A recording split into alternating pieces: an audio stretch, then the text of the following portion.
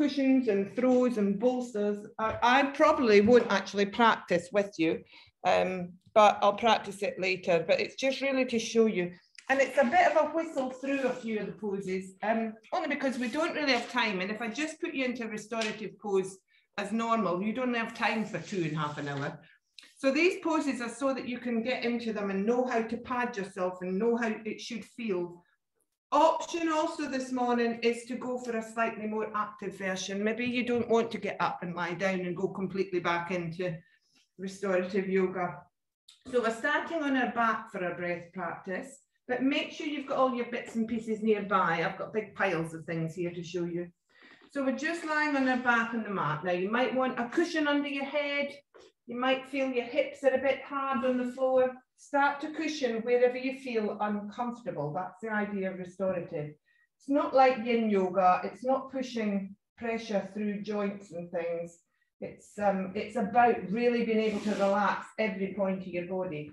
So I'm suggesting that you come into Supta Baddha Konasana with your feet together and then use your bricks to prop under your thighs so that that thigh falling out feeling stops and you just feel as if you're getting that gentle opening without having to um, hang in there kind of style.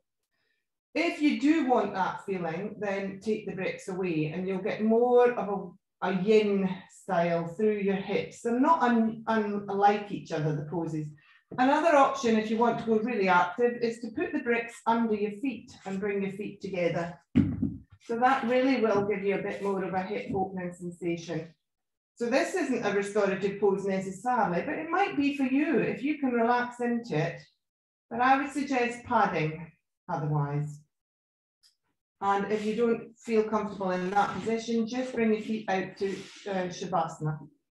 So as you lie here just in Shavasana for a second, just take a quick body scan and feel anything that feels not just mildly uncomfortable. So it might be the back of your hands feel cold on the floor, I can feel that.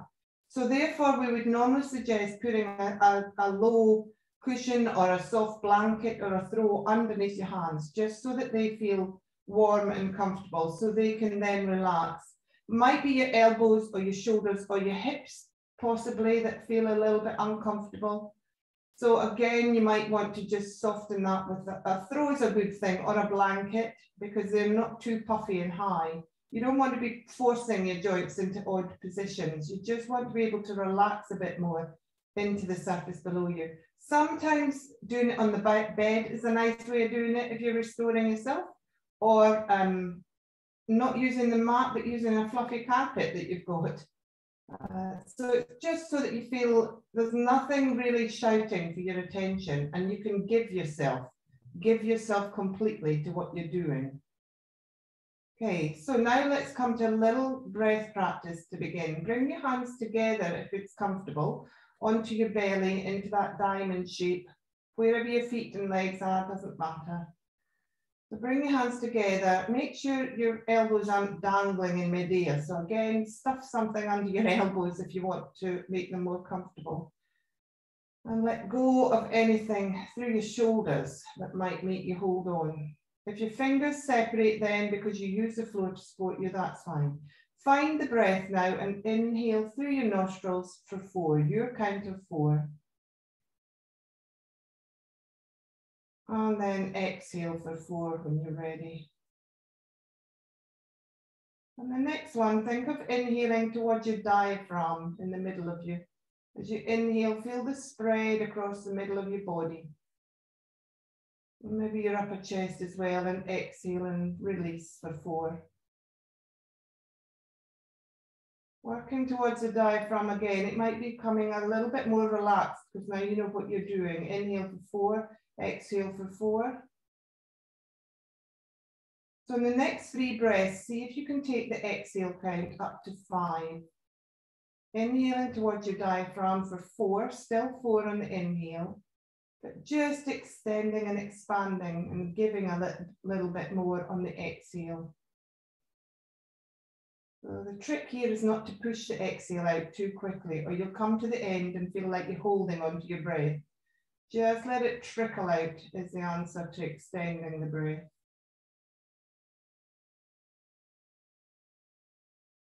And after your next exhale of five, inhale for four, and see if you can extend to a count of six on the exhale. If it's not for you and it's making you feel anxious or not right, then don't do that. Just count four. Otherwise, try to expand the exhale to six. And as you do, really give the whole of your body into whatever's supporting you.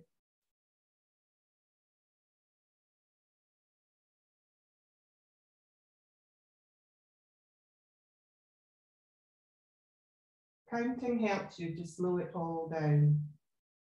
We're switching on our parasympathetic nervous system here. Our rest and digest.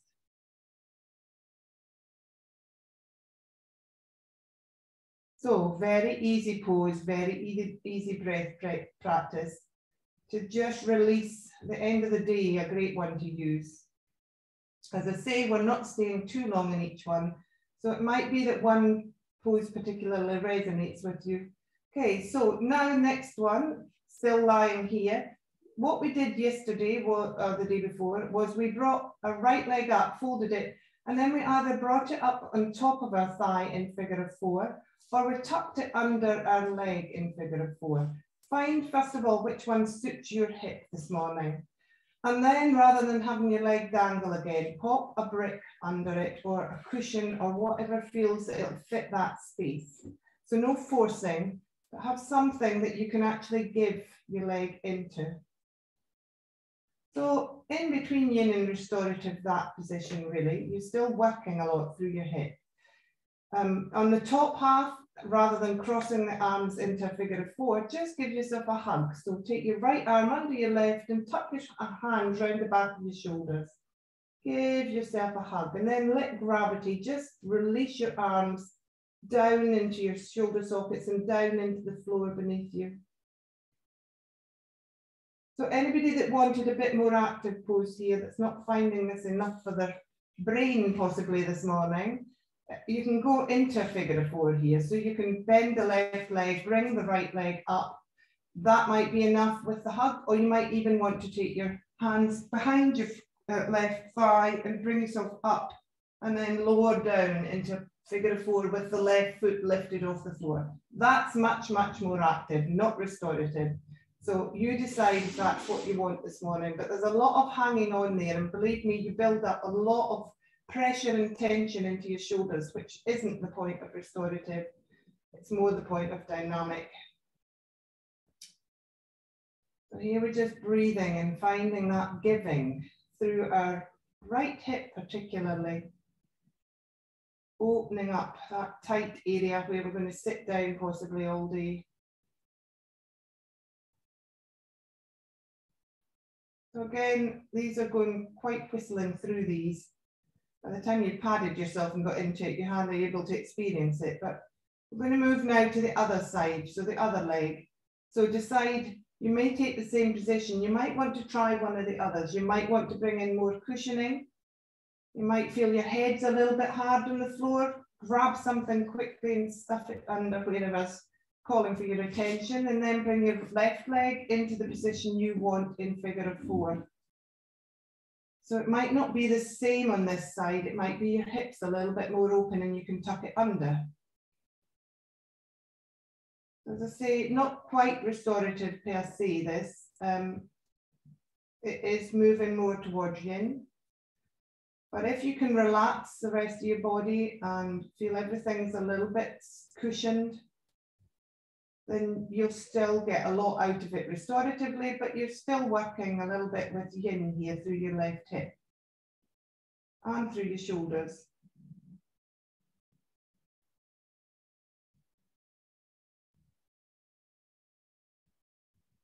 So it's really just to go into it for a minute or so and decide if this is something that you feel is doing you good. And if it is, then remember this pose you can take them on your own. You can lie here for half an hour.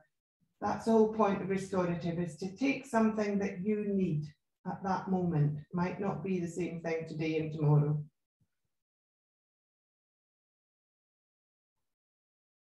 Okay, so let's come out of that one carefully. Arms and legs untangling.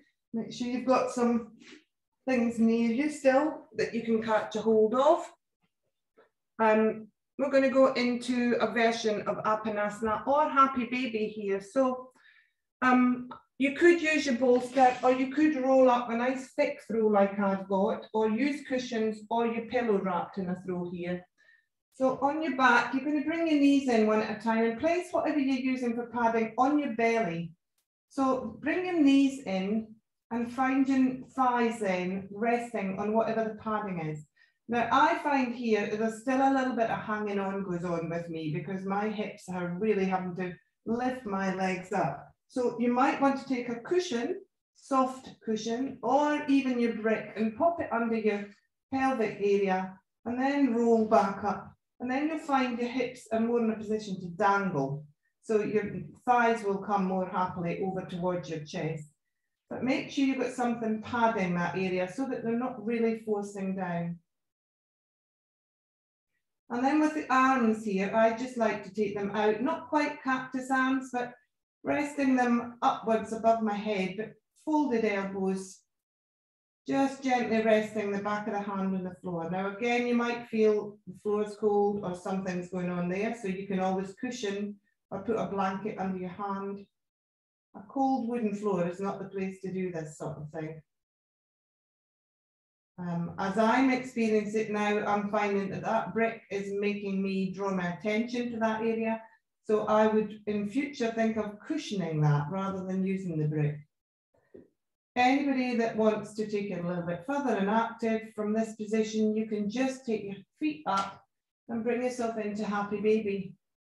So without the cushioning, I would suggest, but you can try with the cushioning, but with your hip, hip on your brick, you're kind of getting a little bit more support than normal into Happy Baby. It helps you rock up into this position. Happy Baby is feet and hands attached on the outside edge of your foot.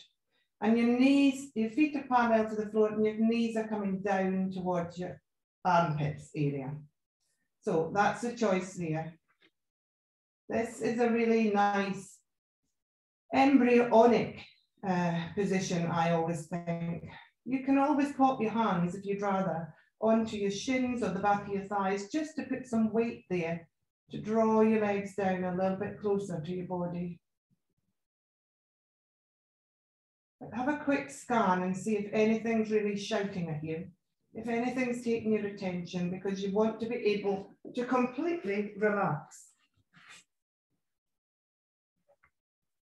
You can always find your breath again and think of the mantra that we've used this week, receive and give. Just to push away any of those thoughts that start to wander in. Restorative can be quite difficult for people to lie still. It's that lying still and being silent thing. Another mantra you can use is give in and give up and thinking of looking at each tension point as you do that. So you would move around anything that's feeling tight and say, give in, give up with the breath.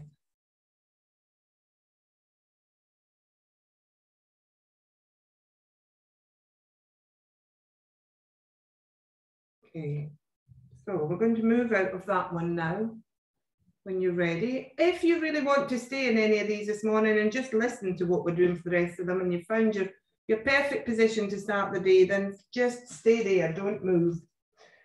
Otherwise, take your legs down one at a time, move the brick obviously first, and then keep a hold of that brick. And we're going to go into supported bridge here. Now, this can be done in a very easy fashion.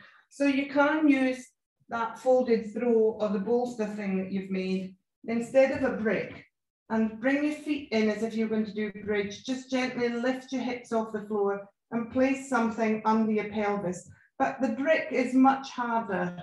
Um, you just want to raise your pelvis slightly. It doesn't need to be a full bridge. We're just putting in a gentle inversion here. Again, then the shoulders become a little bit of a, a, a an awareness point. So you might want to pop some uh, cushioning under your shoulders or under your upper arms, which I can feel mine are dangling a little bit here.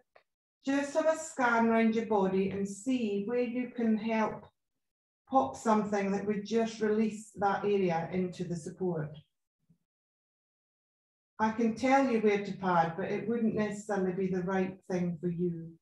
I've tried padding when somebody's told me, and it ends up feeling more uncomfortable than I started. So find where you need. It might be that you don't want your legs up here. You might want to take your legs away from you and put a cushion or a rolled up thing behind your knees.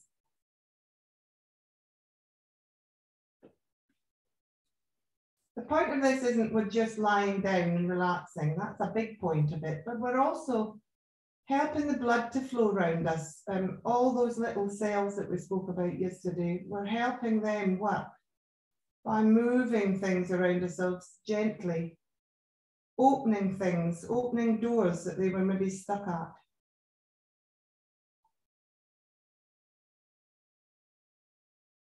So I haven't padded myself very much in bridge. There's a lot of padding you can do. You can also here, obviously, if you wanted, go into a more supported bridge by using your brick. But if you do try the two things, you'll find the brick really takes your awareness back to your body. And really what we want to do is switch off, not the awareness, but switch off the attention grabbing side of the body.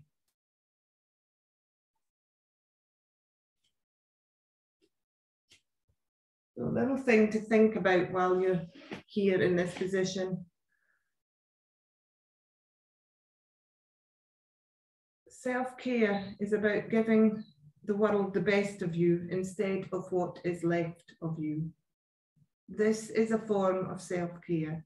This is yoga, but it's also a form of self-care, which yoga is indeed all the time. Sometimes we need to give ourselves that before we can give to others. And it feels a little bit indulgent on a Friday morning, but it's doing you good.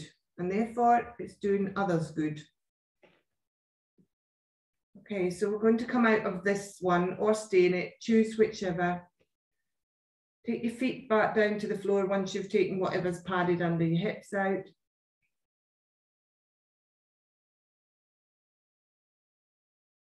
And we're going to come into a supported supine twist now. So obviously we've got two sides to do here. Now this might need quite a bit of padding. Doesn't normally, I know, but we're going to come into it. Oops. So you might want to take um, a padding between both legs before you roll over. You might want to pop some cushioning ready oops, to collect your legs as you come over.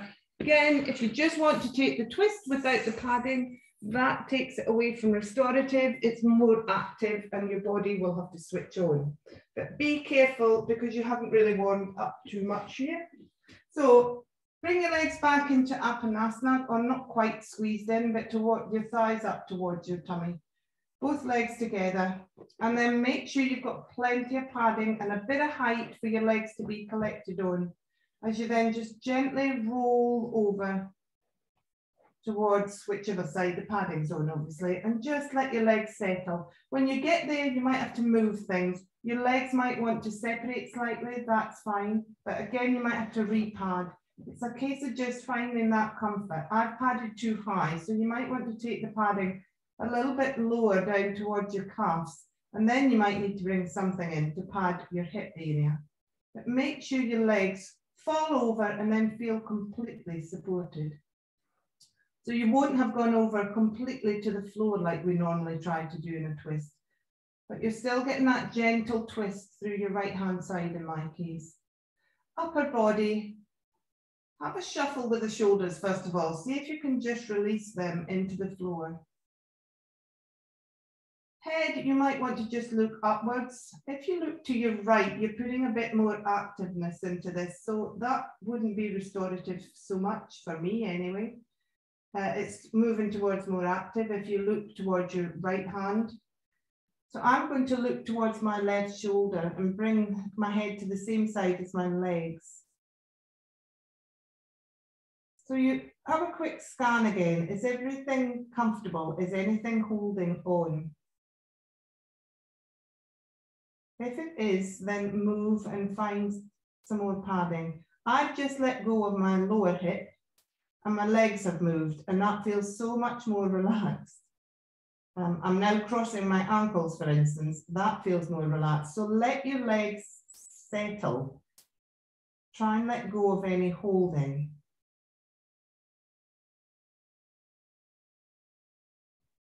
Again, you could cushion heads and hands and anything else that feels a little bit like it needs attention.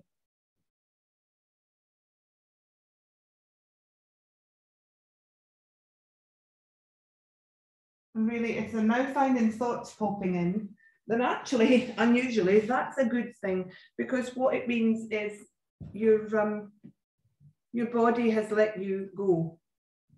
It's given into the support because if your thoughts are actually going to body parts and you haven't quite settled yourself enough, but if you're thinking of the day ahead, then now we need to try and get the head to relax.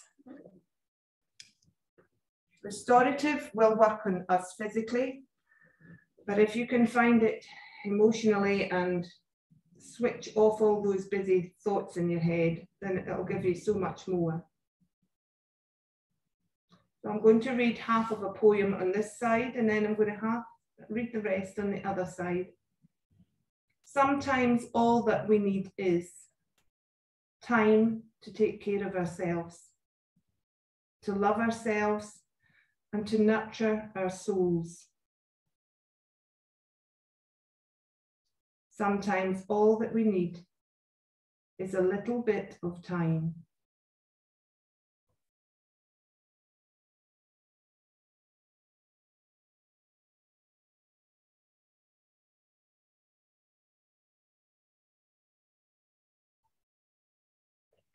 So again, sorry about whistling through this, folks. We're going to take the other side because we do need to balance this. So gently come out of that side and then move all your padding. Get some extra padding. If you felt that wasn't enough for you, get some extra padding for hands or shoulders, or maybe the head felt a little bit hard on the floor. Pad yourself and then move into the position by drawing your knees towards you and rolling over to the other side. Once you get there, do the same thing. Have a shuffle about, try and release that bottom hip. Try and relax your legs, which if they come apart and move into odd positions, then that's still fine. Just want to feel that gentle twist is still there through your left side now, in my case. And then hands relaxed, not sticking out to the side necessarily, wherever they feel that you've just let go. Pop something warm under them if you need it. Make sure your head feels comfortable.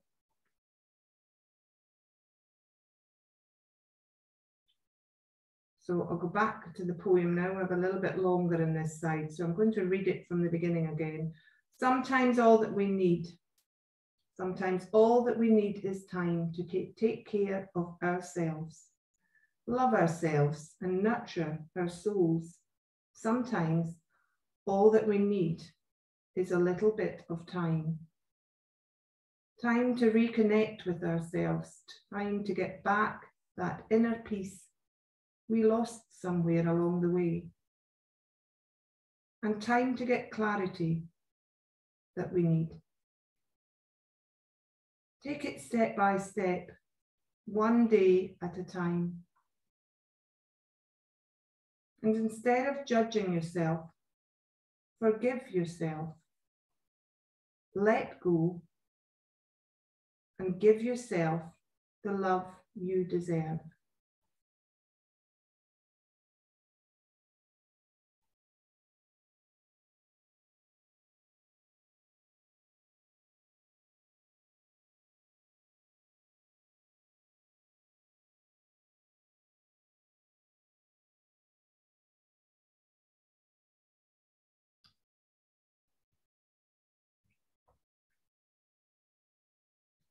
So get ready to move again the time marches on. Time, we've just spoken about giving ourselves, and time is always my enemy in my life. And at this moment in December, we probably all feel the pressure of time. So sorry, but we have to move on. But if that felt really nice, then try it again later. Again, as I say, you can try this on your bed, really good. it might be that you don't want to curl up or roll over. It might be that you feel you need to open and thinking of the emptying the head thing, let's just move quickly into one last um, position, which is Sphinx. So Sphinx we did a little bit the other night there in a more restorative thing. If you take a rolled up blanket or your cushions, doesn't need to be high, but it wants to be something that when you go onto your tummy in Sphinx, you want to have something under your ribs. Now that for me is still not quite high enough because I go quite high in Sphinx. But you can take your brick and you can go a little bit lower in Sphinx than normal. You can have your brick in its on its second side. Again, it's a bit hard, but I want to have that connection to my third eye. So that would be why I'd have something harder. If it's too hard, pop it on its side again and put a brick there. Take it away from your face. You don't want to feel claustrophobic. And then find your head in a comfortable position. So I'm not technically quite in Sphinx because I haven't brought myself right up into the back bend, but I'm taking my arms out now into more of a uh, goalpost arms. Again, you might want to pad there. It might feel a bit uncomfortable. You have to kind of shuffle about with this one to make sure. So you've got a bit of a back bend going on still. It is a version of Sphinx. Anybody that wants a higher version can come right up, a bit more active, pop the brick and tall, put it under your head and rest in this. Now I find because you have that connection between the third eye area and something, particularly if using the hard area of the brick, but even with the cushion, it focuses much more on this area of me. So the rest of my body can then release and relax. So once I've settled it and padded it, it's a bit like giving the children something to do. They go off and they're quite happy and they don't disturb you.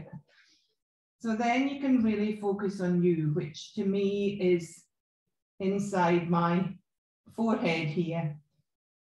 It may not be where you always are, but often that's where we find ourselves busy, busy, busy in our heads.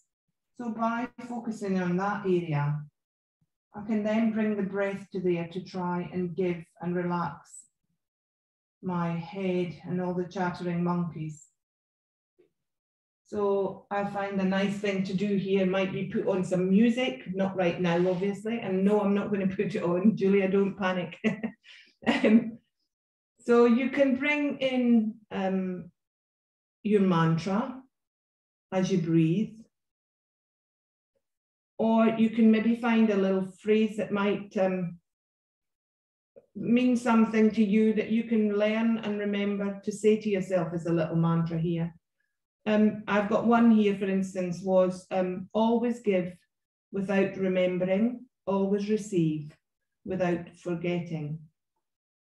So something like that that means something to you that you can repeat inside your head and get rid of all the chattering monkeys for a little bit. But something that's a little bit by rote, so you're not having to think too much about it.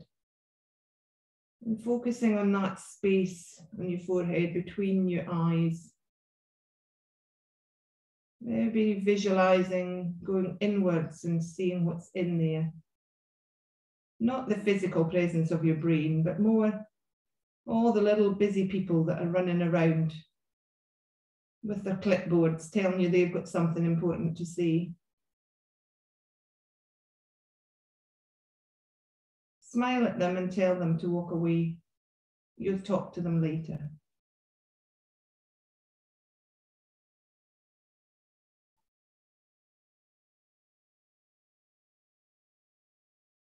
So as I say, that's a nice one if you feel it's your head that can't relax rather than just your body.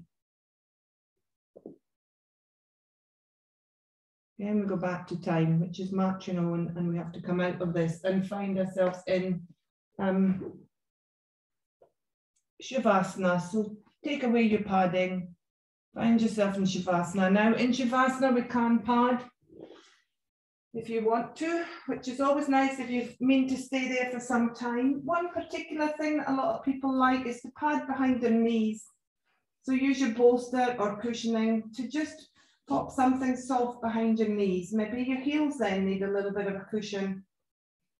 Anywhere you're feeling pressure points, basically, you want to find some cushioning. Maybe that after a restorative session, so finding those pressure points is quite a good thing gently in Shavasana because it wakens your body back up again. So once you've done restorative, you can feel a little bit woozy and um, it is quite nice to do some active movement after this. So I'm not going to have time to do it, but if you want some rock and rolls or windscreen wipers after this, just to waken yourself back up, get those little cells moving around in you again, then please take that. At the moment, we're just in Shavasana here for the last couple of breaths. So relax yourself by rolling your shoulders gently under yourself. If you've got padding, sink into it. Let your feet just fall out. Let your hands curl up if that's what they want to do. Find that pressure point that we've just been on in your forehead. And let's take three more breaths into that area. And as we breathe in, think of receive, receive the energy now. And as you breathe out, give up the tension. Receive the energy. Give up the tension. One more breath, controlling it with those mantras. Receive the energy, give up the tension, sighing the breath away on the last one. Let go of the breath. I'm just going to remind you by reading that little poem one more time, just to take this thought into the day with you and the weeks ahead towards Christmas. Sometimes all that we need is time to take care of ourselves, to love ourselves, and to nurture our souls sometimes all that we need is a little bit of time. Time to reconnect with ourselves. Time to get back that inner peace we lost somewhere along the way. And time to get the clarity that we need. So take it step by step, one day at a time. And instead of judging yourself, forgive yourself, let go, and give yourself the love you deserve.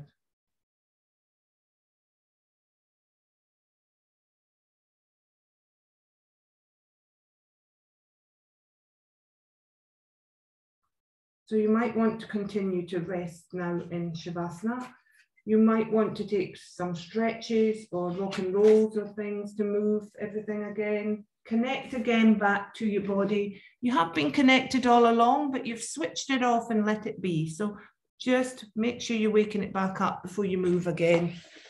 And then come back up when you're ready, if you're finishing now, to cross-legged seated.